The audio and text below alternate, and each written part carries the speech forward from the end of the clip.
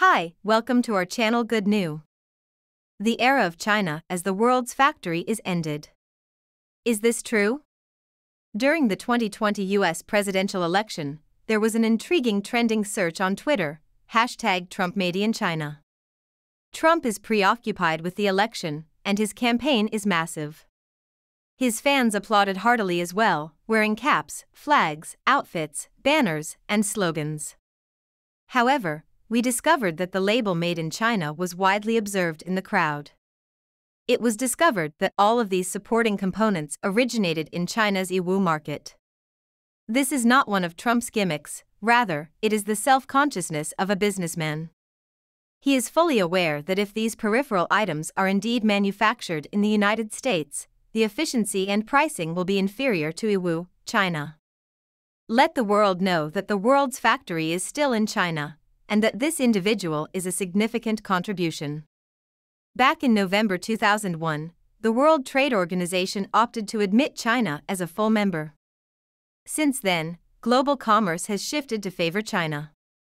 China has progressively risen to prominence as a key commercial partner in Asia, Africa, Europe, and South America. China's manufacturing has transformed the country into the world's factory, but in order to do so, China had to through a hard period of economic experimentation. How did China manage it? How did China go from a backward agrarian community to an industrial behemoth? Please subscribe to our channel and enable the notification bell before we begin today's video. Let's have a look at the topic we'll be discussing today.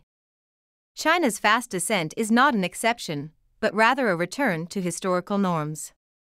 Prior to 1800, the GDP of the Qing Empire accounted for over one third of the world's GDP.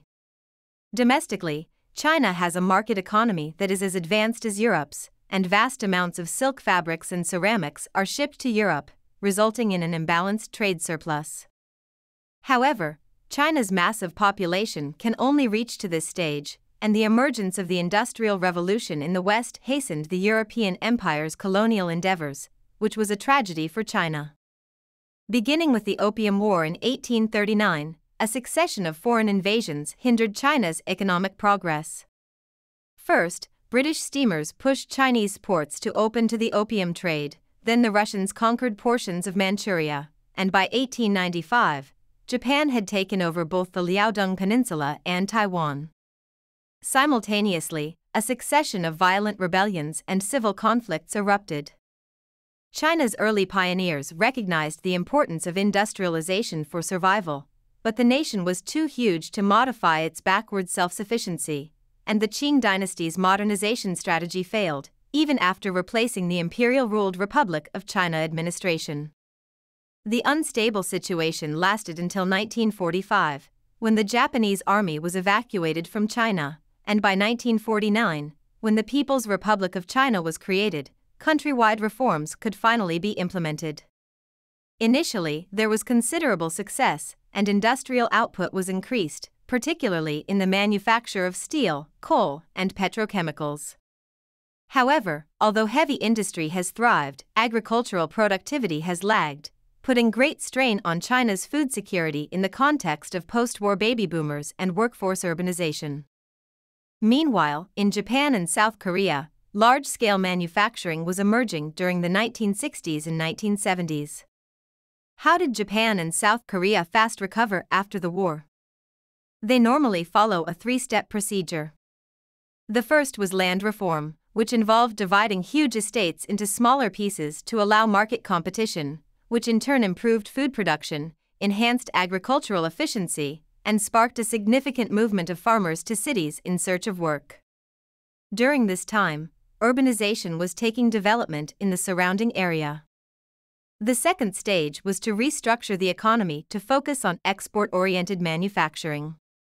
East Asian nations began to dominate global manufacturing, particularly in consumer electronics, by utilizing their new urban workforce and existing export infrastructure. By focusing on exports, Japan and South Korea can generate the foreign exchange required to accelerate technology transfer. Third, each government has implemented tight financial laws to funnel money to sectors preferred by its development strategy, with low interest rates permitting cash flow back into national infrastructure and commercial investment. Furthermore, capital regulations hinder the rich from shifting money abroad. At the same time, the lower exchange rate increases the competitiveness of East Asian exporters. Naturally, Western firms have fought these rules, and Asian companies have unfettered access to the US market while US companies are barred from entering Asia, leaving many business owners angry because much intellectual property has been stolen. However, the US had no problem with this trade off at the time since it needed strong friends in Asia, which explains why Washington deviated from its free trade ideals by letting its allies to operate a business-list economy. China, on the other hand, is very adept at learning from each other's capabilities and beginning to restructure its economic system, and has taken a similar three step method. China's hidden weapon is the country's large land and people. With the opening of China to the outside world, China began to value the manufacture and export of light industries such as apparel, cosmetics, and toys, and Made in China became an autonomous brand. At the same time, the establishment of new factories encouraged urbanization, with China's urban population increasing from 190 million in 1980 to 300 million a decade later, and over time, some restrictions on private enterprise were relaxed, prompting some state owned enterprises to become more competitive, and China has gradually become the world's factory since the late 1870s. But China's biggest test is the acquisition of technology. The US unconditionally enables Japan and South Korea to supply technology, but China must offer some returns for American firms. China has devised a strategy that permits export oriented firms to establish plants in coastal special economic zones before upgrading regional export infrastructure like port roads and railroads. Western firms find this mix of first world infrastructure and third world labor prices appealing.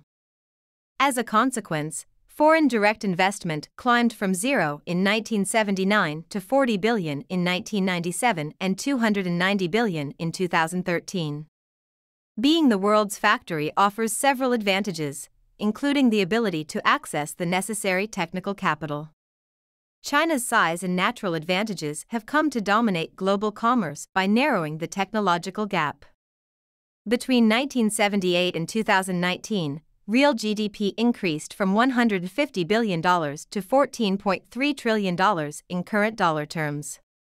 In 2001, over two thirds of the world's countries traded more with the United States than with China. By 2018, those figures had flipped. That is a massive rise.